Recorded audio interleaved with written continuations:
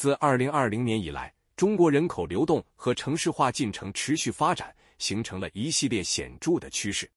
根据最新的统计数据，东部地区的一二线城市仍然保持着强劲的人口流入态势，而三至六线城市人口流动方面呈现出明显的分化。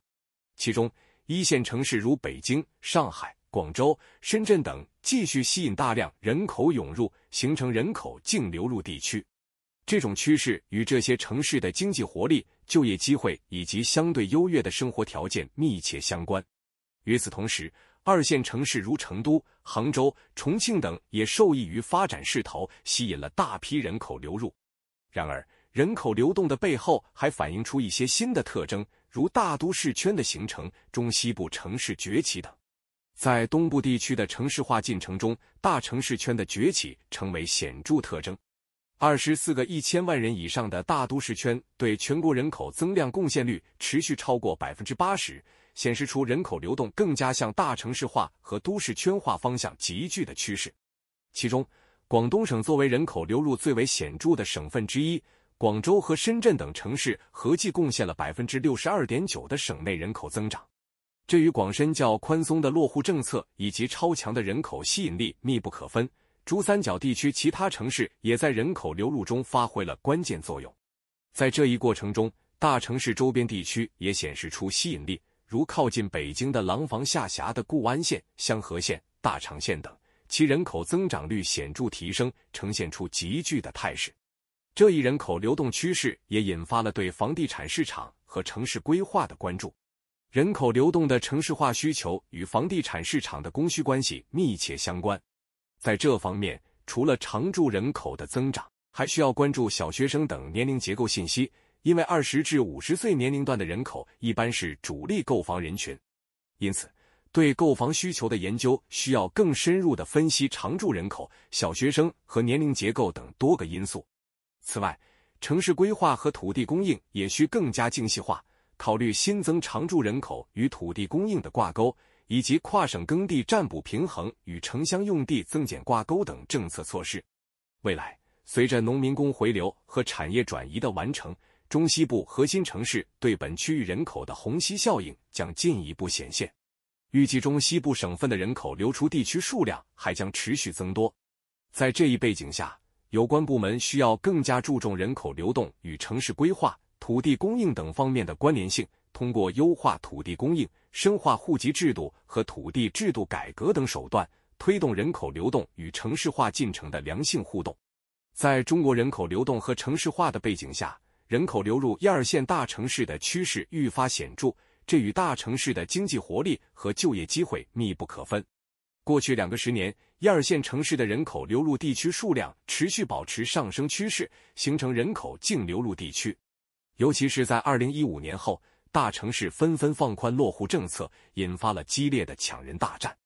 广东省是其中的典型代表。二零一零至二零二零年间，广州、深圳等城市的常住人口增长高达一千三百一十八万，对全省人口增长贡献率达到百分之六十二点九。这主要得益于广深宽松的落户政策和超强的人口吸引力。大城市的强烈吸引力也导致了大都市圈的形成和强化。二十四个一千万人以上的大都市圈对全国人口增量贡献率逐步提升，从两千至二零一零年的百分之八十点二上升至二零一零至二零二零年的百分之九十四点九。这意味着中国人口流动更加集中在大都市圈，这一趋势在未来仍将持续。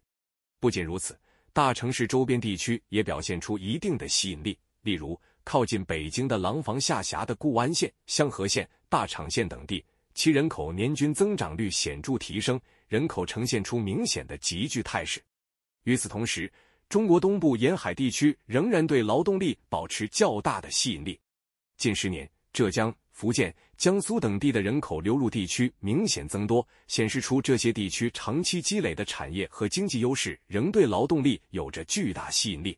这也意味着，即便是在产业结构发生变化的情况下，东部沿海地区仍然在人口流动中保持了相对的竞争优势，在这一过程中，人口流动的都市圈化特征也逐渐显现。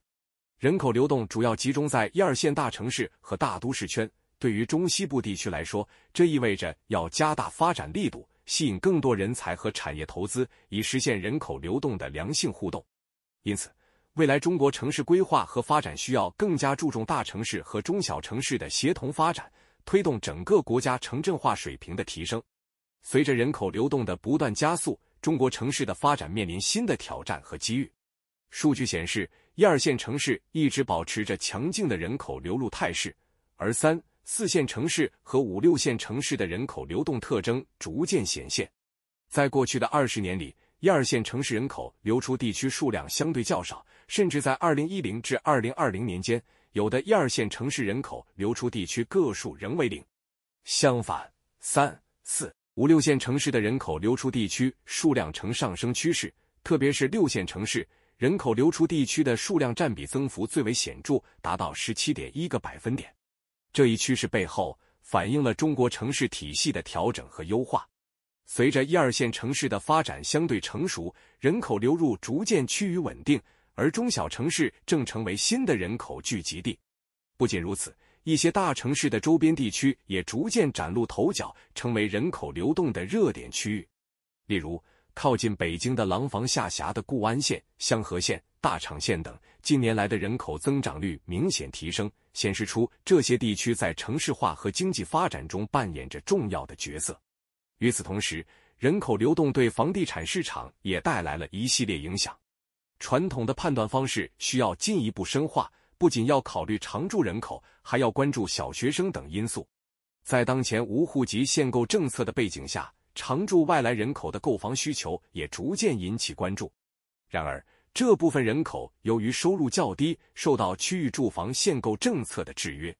此外，购房需求还受到人口年龄结构的影响，二十至五十岁年龄段被认为是主力购房人群，因此。房地产市场需要更深入的分析人口结构，以更好的适应不同群体的需求。在房地产市场的调控中，政府还需要进一步推进户籍制度和土地制度的改革，以消除人口流动的限制。尽管户籍制度改革在推进中，但一些大城市的落户限制仍然存在，这对于充分发挥城市集聚效应、推动服务业发展具有阻碍作用。当前的抢人大战中，城市通过提高户籍制度的包容性，吸引更多的人才和年轻人口；但更关键的是，通过产业发展和改善公共服务来留住这些人口。此外，低收入者对于城市发展同样至关重要。如果低收入者不足，将制约城市生产和生活成本，影响整体经济稳定。综合来看，中国城市发展正面临着转型升级的时刻。未来城市规划和政策需要更加注重大城市和中小城市的协同发展，提升城市群的整体竞争力。通过深化土地制度、推动产业升级、完善户籍制度、优化公共服务等手段，实现人口流动的良性互动，为城市和乡村的均衡发展创造更有利的条件。人口流动对于中国的城市和房地产市场产生了深远的影响。因此，在未来的发展中，需要继续推进一系列政策和改革。在保持货币政策和房地产金融政策的长期稳定方面，有关方面应当着眼于防范房地产过度金融化的风险。长期稳定的住房信贷金融政策能够稳定购房者的预期，同时有效支持刚需和改善型购房需求，抑制投机性需求。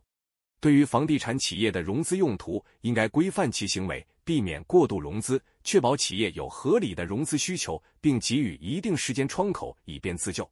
在这方面，可以借鉴德国的经验，建立中性稳健的货币政策与住房金融体系，以保持房价的长期稳定。随着大开发时代的结束，土地出让金减少，交易环节税收减少，房地产税作为替代土地财政的趋势逐渐显现。国际经验表明。房地产税对于成熟市场经济体来说是地方财政的重要和稳定来源。